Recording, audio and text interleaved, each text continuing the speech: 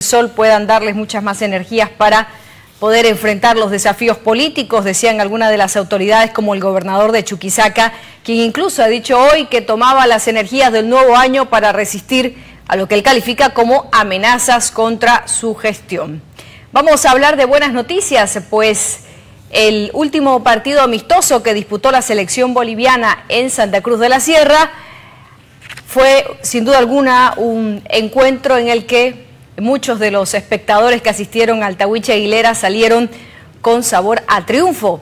La selección boliviana enfrentó a la selección chilena que llegó eh, sin duda con otro ánimo y creyendo que el resultado podría ser otro.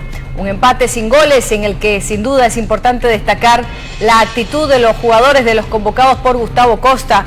Hubo distinciones especiales, Marcelo Martín, el matador, quien justamente jugaba su partido número 102 con la verde, eh, masiva participación en el Tahuiche Aguilera, la selección boliviana empató sin goles con la selección chilena y una de las figuras del partido sin duda fue el arquero Billy Vizcarra.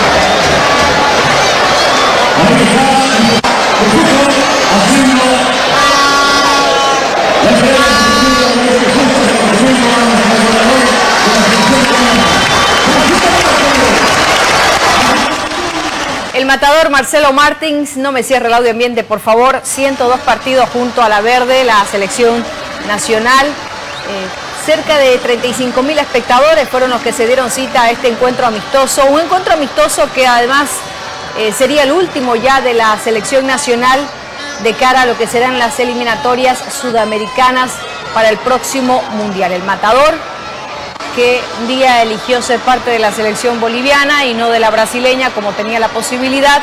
Estuvo allí, también fue aplaudido por la hinchada. Repetimos, cerca de 35 mil espectadores se dieron cita al Tahuiche Aguilera para poder gritar y poder apoyar a la selección boliviana en este último partido amistoso de cara a lo que serán los partidos de las eliminatorias sudamericanas. Volvemos a Estudio Central y decíamos que esta fue una jornada festiva para quienes se dieron cita al Estadio Tahuiche Aguilera. Vamos a ver un resumen justamente de las mejores actuaciones de los jugadores de la Verde que estuvieron sin duda eh, haciendo emocionar a más de uno. Decíamos que este fue un empate sin goles, 0 a 0. Eh, muchos jugadores jóvenes han también puesto a prueba sus estrategias en diferentes lugares donde el director técnico los posesionó. El mismo Billy Vizcarra tuvo la oportunidad de estar allí cuidando el arco y parece que lo hizo muy bien. Vamos a escuchar las impresiones de la hinchada que se fue con sabor a triunfo.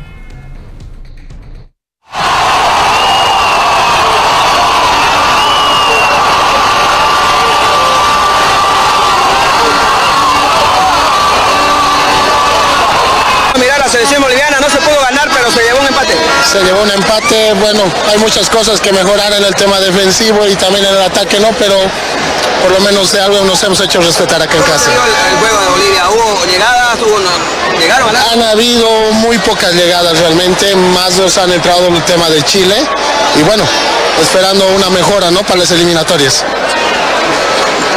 La selección de Chile jugando en Santa Cruz. Sí, sí, después de mucho tiempo. Nosotros vivimos acá en Santa Cruz, así que muy contento de ver a la selección acá en Santa Cruz. Se ha visto ya cambios en la selección, quedan dos jugadores, del, tres jugadores en este caso de la, de la generación dorada de Chile. Sí, yo creo que falta un, cambio generacional ya en la selección, pero, pero siempre es, bueno ver a las grandes figuras. Así que... ¿Vino con la familia aprovechar? Sí, con los niños acá, así, con toda la familia. Muchas gracias. ¿Qué le pareció el partido de Bolivia? Vino a jugar en Santa Cruz después de tres años. Me pareció bien, estaban bueno, contentos con el rendimiento que ha mejorado Bolivia. Eh, tuvimos varias oportunidades y hay que mejorar algunos aspectos, ¿no? Adelante todavía Bolivia. ¿Cómo se vio el arquero Vizcarra? No, una, una apariciones muy espectaculares, eh, un, acercamiento mejor que el anterior arquero, pero bueno, hay que apoyar siempre a Bolivia, ¿no? A lo mejor. Digo, viniendo a mirar a Bolivia, luego de tres años viene a Santa Cruz. Sí, muy contento, eh, la verdad es que sabemos las diferencias que había de un equipo con otro, pero veníamos a, ver esa actitud que se demostró y muy contento por, lo, que hemos visto ahora. con Sánchez, con grandes figuras Vino con todo su equipo titular y aún así le hicimos frente y, nos vamos con mucha fe que hay un gran futuro por delante. Mucha fe y esperanza en el futuro de la selección nacional y en el papel que podría jugar en las eliminatorias sudamericanas de cara a lo que será el Mundial 2026. ¿Qué dice el director técnico de la selección chilena, el DT de La Roja? Dijo que llegó a Bolivia con la ilusión de tener buenos resultados. Eh, reconoce que se midieron frente a una selección joven y experimentada. Vinimos con la ilusión de jugar un partido que nos sirva, nos sirvió, nos medimos contra una selección joven como nosotros, con gente experimentada también. Jugamos una primera parte donde el juego directo nos, nos complicó de alguna manera un poco. Encontramos situaciones igual, corregimos cosas en el segundo tiempo y salimos del partido con la sensación de que pudimos ganarlo. Así de que saludos a, a todos ustedes, gracias por el trato. Nos encontraremos en la eliminatoria. Mucha suerte para, para todos eh, y bueno, todos los partidos, aunque sean amistosos, sirven para, para sacar conclusiones y, aprender de tu propio equipo. Así que muchas gracias por el trato de toda la gente aquí y nos vemos en el eliminatorio. de todos los partidos internacionales, cuando uno juega contra selecciones sudamericanas, dejan de ser amistosos y uno mide esa fuerza.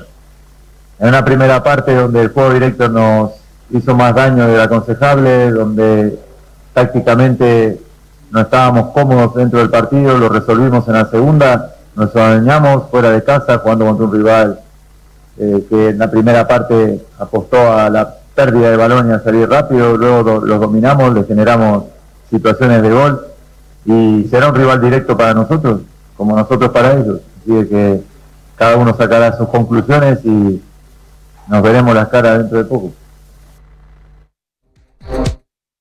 Cambiamos el ámbito informativo y nos referimos ahora al nuevo año andino amazónico, el año 5531. El presidente Luis Arce Catacora junto al vicepresidente David Choquehuanca y el presidente de la Cámara Baja, Jerjes Mercado, eh, recibieron los primeros rayos del sol de este nuevo año. No estuvo el presidente de la Cámara de Senadores, Andrónico Rodríguez. En la oportunidad se realizó la tradicional ofrenda a la Pachamama y eh, se hizo el ritual andino de siempre. Ese era el momento en el que, eh, soportando muy bajas temperaturas, las autoridades y amautas, además de otros que acudieron hasta el templo de Tiahuanacu, participaban de este acto.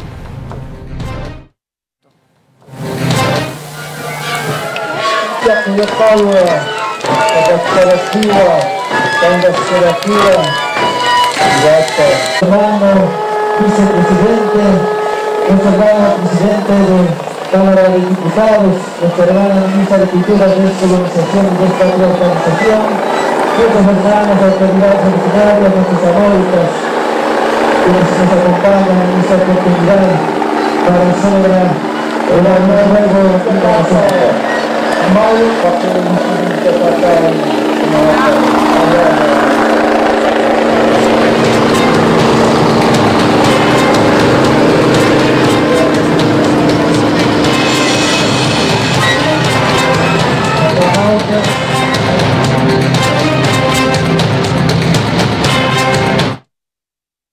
El Centro Arqueológico de Tiahuanacu fue, como todos los años, el epicentro de este recibimiento a la cabeza del presidente Luis Arce Catacora. Vamos a escuchar justamente qué es lo que decía el presidente, quien hablaba de renovar la devoción a la vida, a la naturaleza y al vivir bien. Para todos, hoy renovamos nuestra devoción a la vida, nuestra devoción a la naturaleza, el vivir bien, Hoy es un día importante, hermanas y hermanos, en todo nuestro país, en el Oriente, donde también están celebrando el Nuevo andino amazónico y del Chaco. También en el Chaco, hermanos, en todo lado.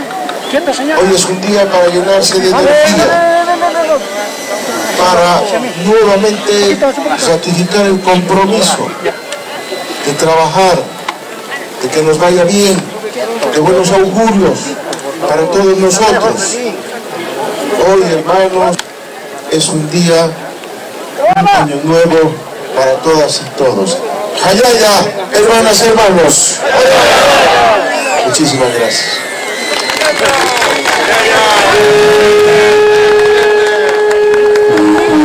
nuestro hermano presidente Lucho Arce. Allá nuestro hermano vicepresidente Gilato. Era la participación del presidente Luis Arce, no sé si... ¿En cuántos lugares se realiza esta tradicional ceremonia? El senador Félix Aspi ha mencionado de que son 200 los lugares y las regiones en nuestro país donde se recibió hoy miércoles el Año Nuevo Andino Amazónico número 5531 recibir las primeras energías del sol del, del año mil, de 5531 años y esto que sea una razón para tener mayor energía y mayor unidad para nuestro pueblo boliviano y sobre todo a los pueblos andinos, amazónicos y chaqueños, ¿no? Entonces, pues, eh, dando las palabras o tomando las palabras de nuestro presidente, mayor unidad y mayor trabajo y nosotros ofrecemos siempre tranquilidad económica a nuestro país.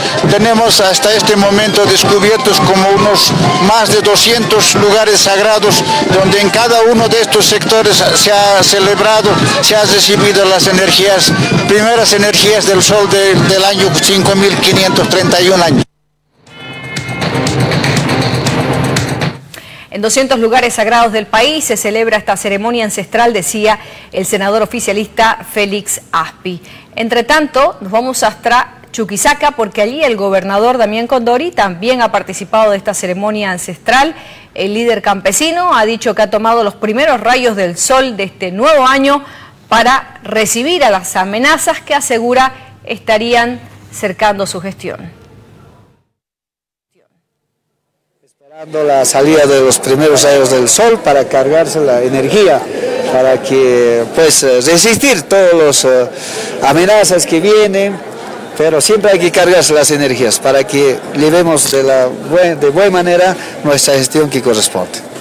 ¿Qué más se pide en este inicio del año? Agradecimiento a la Madre Tierra de la producción que nos dio. Hay lugares que hemos cosechado más o menos, yo por ejemplo he cosechado algo, unos 100 quintales de trigo, yo tengo que agradecer a la Madre Tierra, me ha dado la papa, que unos 300 quintales he cosechado la papa en maíz, choclo, el que siembra cosecha, pero el que no siembra tampoco cosecha, ¿verdad? Y de eso hay que agradecer a la Madre Tierra, porque nos da la lluvia, el agua, la siembra, la comida, porque si no habría la Madre Tierra, que no, que no estaríamos ofrendándonos, dando actos rituales, porque es una forma de creer y darles las gracias. También pedirle para el año que venga, ¿no? porque a partir de junio, agosto, septiembre ya empieza nuevamente la siembra, lo que es las miscas.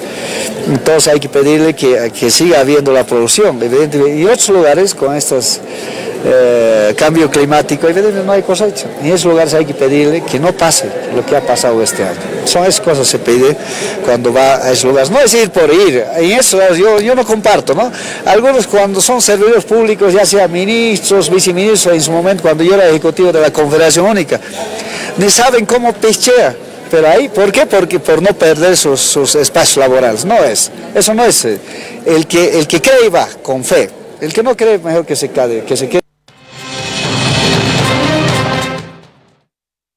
De Chuquisaca a Santa Cruz, porque la Dirección Departamental del Movimiento al Socialismo también participó de este ritual. Y bueno, decía el senador Félix Aspi que es en al menos 200 lugares sagrados donde se ha llevado adelante esta celebración. La bancada oficialista y la militancia estuvo acompañando la llegada del nuevo año andino amazónico y del Chaco con una fogata para calentarse porque en Santa Cruz se mantienen las bajas temperaturas y con algunos bailes guaraníes y otros que formaron parte de esta celebración.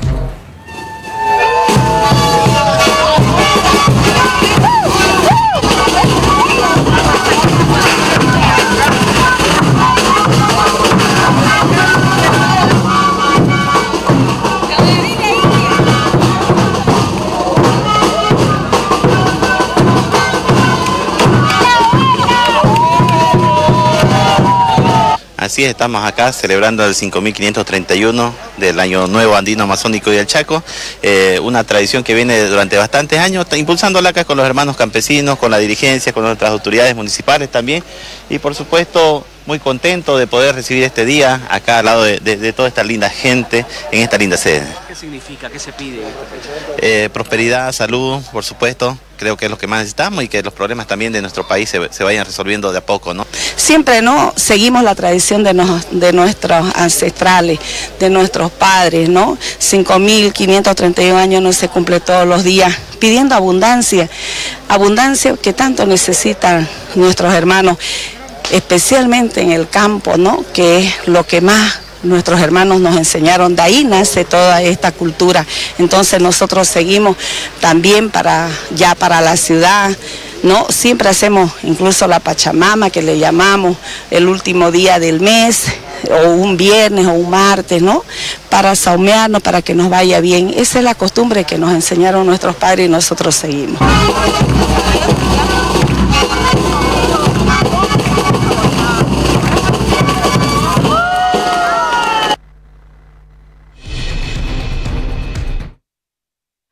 Dejamos de lado este tema y hablamos ahora acerca de la primera condena que ha recibido quien fuera el director nacional de migración durante la gestión de la expresidenta Yanine Áñez.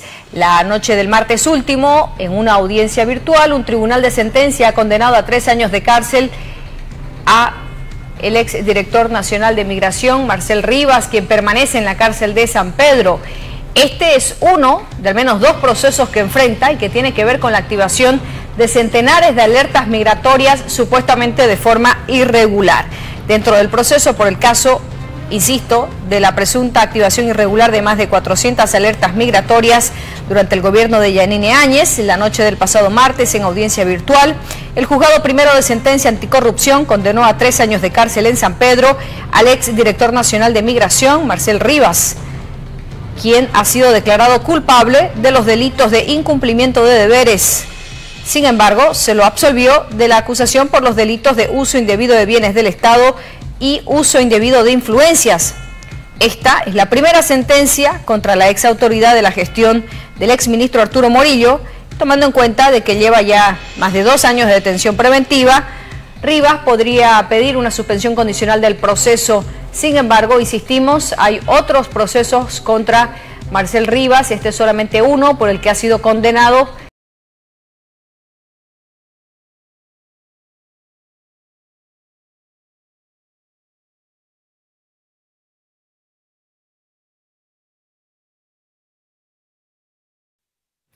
El abogado de Marcel Rivas, exdirector nacional de migración que permanece tras las rejas en la cárcel de San Pedro, ha adelantado de que van a esperar a que el próximo lunes se haga la lectura inextensa de todo el documento que sentencia a su cliente a tres años de cárcel para en esta misma audiencia eh, plantear un recurso de apelación que podría poner en suspenso la ejecución de esta condena. El abogado insiste en que no existen elementos de culpabilidad contra su defendido.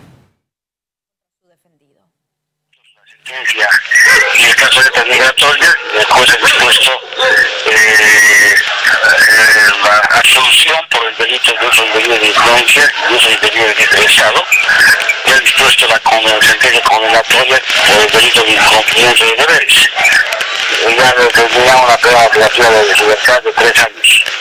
Realmente el, el día jueves ha señalado el juez la audiencia para dar lectura íntegra de la sentencia y hoy veremos los fundamentos del juez para, para la condena de, para la condena del delito de, de, incumplimiento de deberes.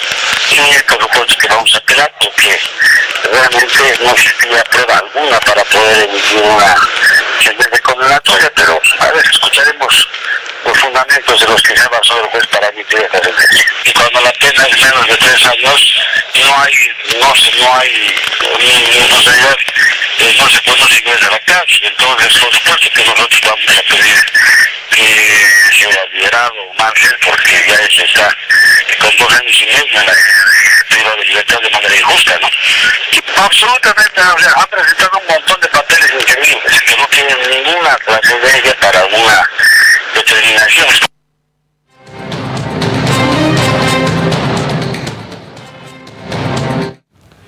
Seguimos hablando de procesos penales en la sede de gobierno porque el exalcalde de la ciudad Maravilla, Luis Revilla, será investigado ahora por presunta legitimación de ganancias ilícitas.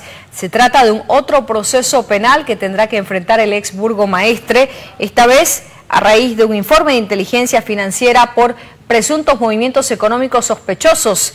El director nacional de la Fuerza Especial de Lucha contra el Crimen ha dicho que se están realizando un sinnúmero de requerimientos fiscales para poder eh, indagar eh, dónde se encuentra y a quiénes más se podría citar. Esta investigación estaría en curso en momentos en los que ya enfrenta otro proceso por el caso de los Puma Qatari, proceso en el que además Luis Revilla ha sido declarado ya rebelde y contumaz ante la ley. Sí, eh, tenemos un, un, informe de inteligencia financiera debido a ello que la Fiscalía ha previsto que se aperture un caso en contra de, del ex alcalde por legitimación de ganancias ilícitas. Y dentro de todo esto es de que se está precisamente legalizando toda la documentación que pertinente del enriquecimiento ilícito, eh, enviando eh, los requerimientos a lugares estratégicos para que nos brinden la información para sustentar precisamente en la parte intermedia y posteriormente la acusatoria en contra de este señor.